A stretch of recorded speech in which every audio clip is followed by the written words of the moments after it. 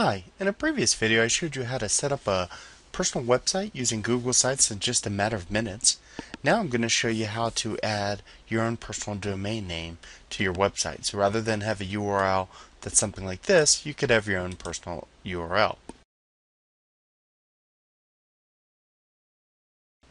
There are a lot of companies that you can buy domain names from. GoDaddy's um, a, a large reputable one that lots of people have heard of and I've heard great things about. When I first purchased mine a couple years ago for my personal website, I found that Lucky Register had the best prices at the time, so I went with them. So GoDaddy or any place is going to give you the similar type of things. They're going to give you a place where you first start by seeing if the domain name you want is even available. I recommend that you first check to see if your first and last name is available. In this case, I've already purchased AllisonLowenthal.com for my wife, but just to show you how this works, if I wanted to search for DarcyLowenthal.com, I could hit search and it would let me know that it's available and I could purchase it. You also note that if I went with a .info or even a .us, I could even get a web do domain a lot cheaper. But in this case, I want to spend the extra couple dollars to get the .com.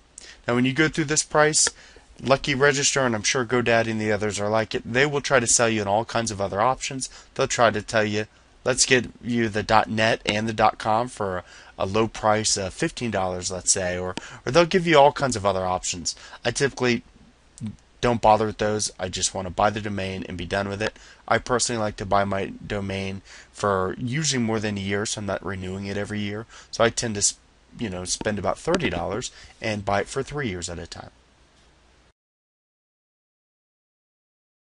Now I need to tell Google Sites that I want to use AllisonLowenthal.com. So I'm going to go to More, Manage Site. Now we're going to go down here under General to Web Address. So now I'm going to type in AllisonLowenthal.com and hit Add. Okay, there it is. The next step is I'm going to verify my account with Google so I can use the web tools down the road if I want. I'm going to go to More and then Manage Site.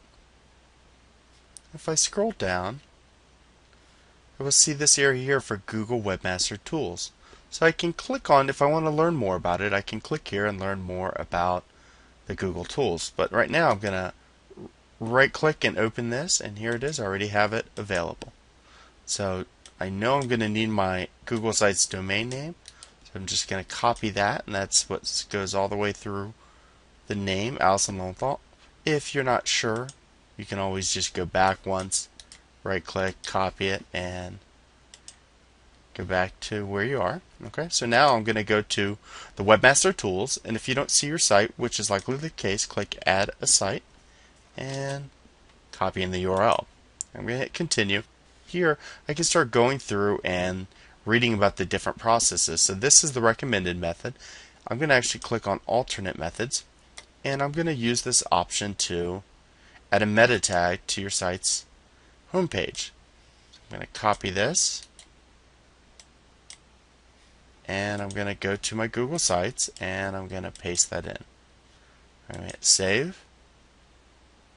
And I'm going to go back. And I'm going to click here verify now. And there it says it's been verified. So I can hit continue So then, whether you're using Lucky Register or another site, once you've purchased your domain name, you can log in. So once I'm logged in, I'm going to click on Domains. And in this case, I have multiple ones, but the one I'm interested in is AllisonLowenthal.com, so I'm going to click on Launch. And if you're using GoDaddy or another service, while it's likely that they'll have customer support that can help you do this, what you're basically looking for is something with a DNS manager. And so in this case, I'm going to hit launch. And I'm going to scroll down. If I was using some of these others, let's say for a different type of personal website, not using Google Sites, I might need to adjust some of these. But in this case, I'm only interested in www. So I'm going to type in ghs.google.com and I'm going to hit quick add. And then I'm going to hit zone save zone file, and I'm going to click OK. And then I'm going to hit OK. It's refreshing the page. I'm going to scroll down, make sure it's there. It is. And just like that, I've made the changes to my domain manager, so my personal domain should show up. But I tend to take one more step because whether someone uses www.alisonlowenthal.com or alisonlowenthal.com, I want to ensure that they actually get to the same place. So I'm going to go back to domains and I'm going to go to alisonlowenthal.com. I'm going to actually go to forwarding and I'm going to forward alisonlowenthal.com to www.alisonlowenthal.com. So if someone types in this, I want them to go to here which is actually going to bring them to my Google site. Hit OK, and just like that, I'm done. And now we're going to check to see if AlisonLowenthal.com is working. We get a domain name error, but that's okay because over time we're going to find that sometimes it can take up to two days for this to work but that everything is in order and that it will quickly work. So about 30 minutes have passed since I set this up, so let's see how it works.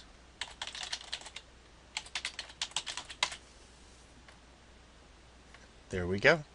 So I typed in AlisonLowenthal.com and we get AlisonLowenthal.com. So just like that, in a few simple steps, we mapped a personal domain name to our Google Sites. So with using Lucky Register, basically the process was the first thing we went into Google Sites, we went to Manage, we went over here to Web Address and we added it. The next thing we did was we verified our site. And we did this by going to More and then Manage Site. We scrolled down to the Webmaster Tools we went to visit Webmaster Tools and we added our site and then when we went to add it we went through a process of when you add a site that it asks you to verify it and it gave us a code we came and entered that code into here. And the last step is I went to Lucky Register which is the company I'm using to launch my domain name. I went to down to the DNS manager. And I added the very bottom Google. So the www and then ghs.google.com and these steps and waited about 30 minutes. And just like that personal domain name personal website free easy to use the domain name itself will cost about $10 a year. So in the next video I'm going to show you actually how to add Google Analytics to your site that will help you to be able to track the users that come to your site. Thanks